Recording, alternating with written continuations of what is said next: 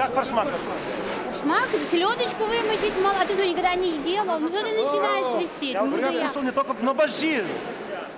Ну, ложен штыл, да. Настроение. Ну какой ты? Ну, расскажи, ложен стыл, пусть будет тихо.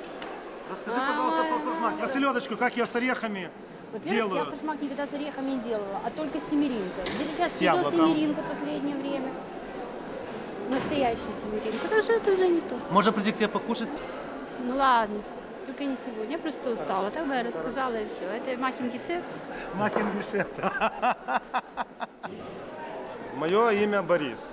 Я уже много лет работаю на привозе. С 75 года. В данном вот контексте я занимаюсь только субпродуктами. Печенка, язык, сердце. В те годы было очень сложно попасть. Это не то, что вот сейчас могут любого привести, и он работает, даже не зная, кто такой. Начальство не знает вообще штатное расписание. Тогда это было очень э, сложно.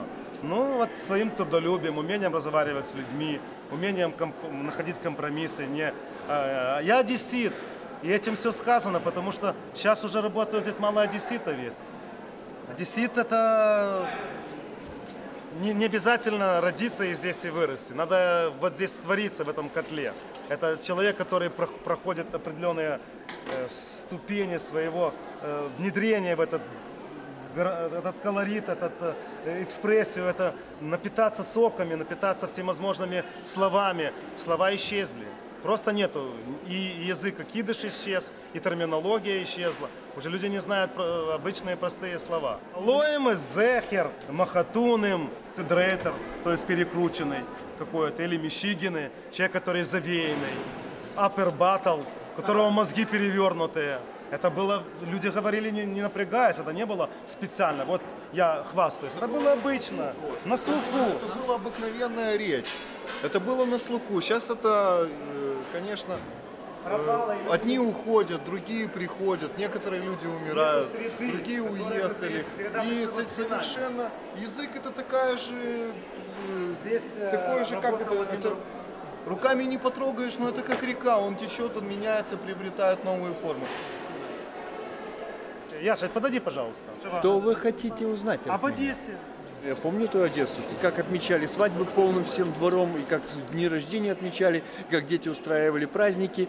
Собирались все жители дома, они оценивали, какой талантливый ребенок, ой, какой, какой талантливый ребенок, это же посмотрите на него, он стихи читает.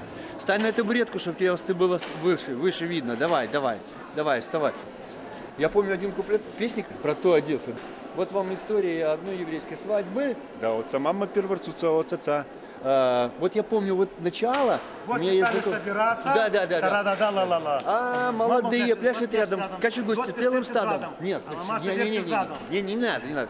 А, молодые пляшут рядом, скачут гости целым стадом. А мамаша, ой, да мама, ой, весело поет, а жених Сидит, как сидит идиот. как идиот. Вот сама мама перворцуца улеглась на диване, дерим-бомбом, дерим-бомбом, и, и, а, а, и, и, а, а. И так всю ночь, пока не занялась зорька. Да вот сама мама перворцуца. То жениху кричали, то невесте горько. Да вот сама мама у отца. А, молодые, пляшут рядом, скачут гости целым стадом. А мамаша, ой, мама, ой, весело живет. А жених сидит как идиот. Ну, в общем, вот такая вот песня была, забытая, кстати, песня. Э, Она полуеврейская, полуодесская.